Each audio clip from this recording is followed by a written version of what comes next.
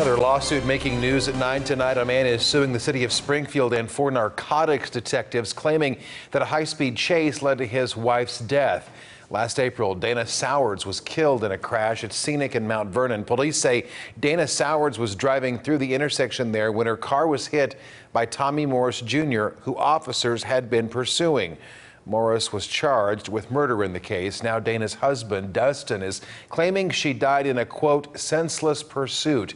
According to the Springfield News leader, the lawsuit alleges that police officers were following closely behind Morris, traveling more than 80 miles an hour. And the suit says those narcotics detectives contributed to Dana's death and chose to break SPD policy involving a pursuing a vehicle in a residential area.